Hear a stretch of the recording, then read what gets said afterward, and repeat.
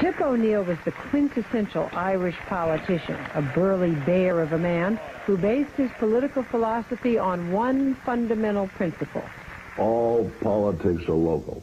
Whether you call it international politics, world politics, uh, national politics, everything starts at your backyard. Everything is local.